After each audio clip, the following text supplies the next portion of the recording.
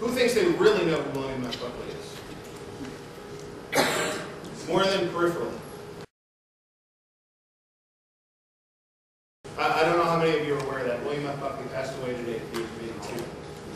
So, uh, in honor of that, we wanted to just start off with a little uh, memoriam, if you will, to, uh, to William F. Buckley.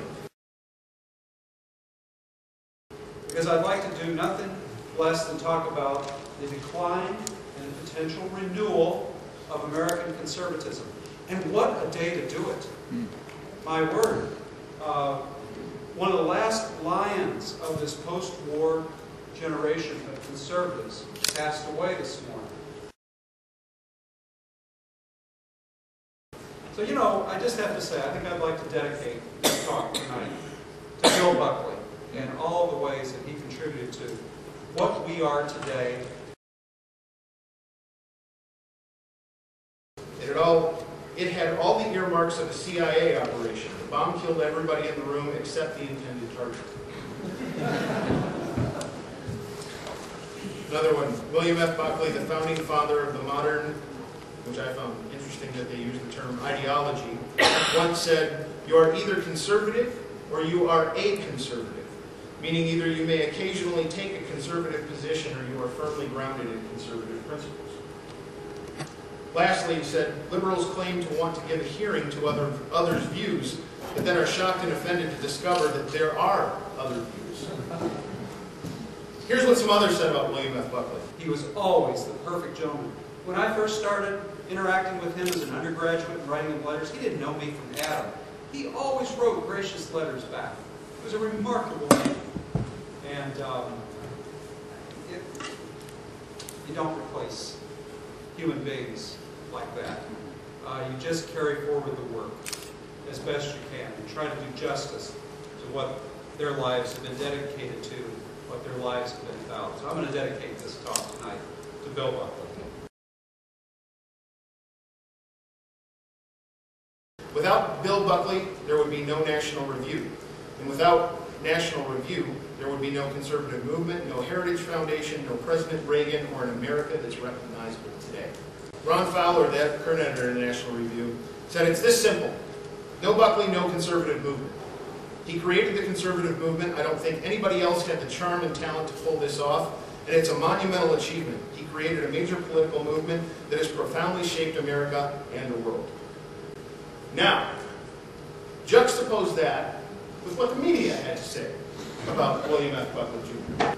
CBS News, News' Ward Sloan wrote, as I read the first wires of the death of William F. Buckley this morning, I thought how appropriate that he should die during the year that the conservative movement seems fractured, a shadow of its once formidable presence. When we look at some of the elegiac treatment today of Buckley's passing, if we look at how Russell Kirk's passing in 1994 was handled, we understand that a lot of conservatives are looking back to this post-war school of conservatives, this group of extraordinary people, the last lions, really, of the conservative movement who are with us now, who cut their teeth on the liberalism of the 1950s and 60s and produced absolutely brilliant works.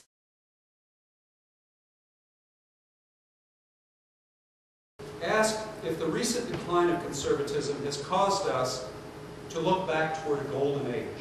Now, I ask the question rhetorically, because I think the answer is yes.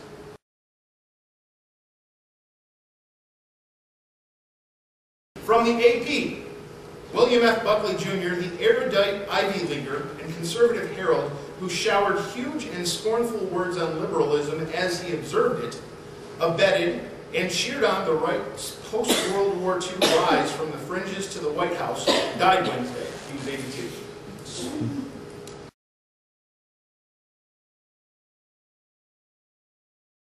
So you have the philosophers. First come the philosophers to get a movement started.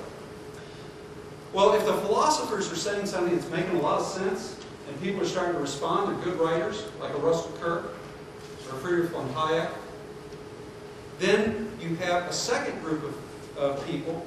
Let's call them what they were called in the American Revolution. I mean, no, uh, I, I, mean, no disrespect when I use this word. They're pamphleteers. You have a, a, a new generation of pamphleteers who are able to take the philosophical ideas, distill them down, so that people like us can read them and enjoy them. And I'm talking about William F. Buckley. He was the greatest journalist, pamphleteer, thinker who, whose mind was fine enough that he could talk to the philosophers, but then he could turn around and write about these philosophers' ideas in his columns. Over 5,000 columns that he produced, in which he's taking these ideas and sharing them with us. Now, imagine the reach Buckley had. Now, it's, you could argue that Frank Meyer, you know, has reached hundreds and hundreds of thousands of people. Maybe Russell Kirk's reached over a million. But a William F. Buckley, whose columns are all over the place, now you're talking about really reaching a large number of people. And November of 1955, he founds this magazine, this journal, National Review, standing aside athwart history, yelling, stop, wait a second. All change is not progress. Let's try to see what from our tradition we need to carry forward. that's not necessarily change, because it's in continuity.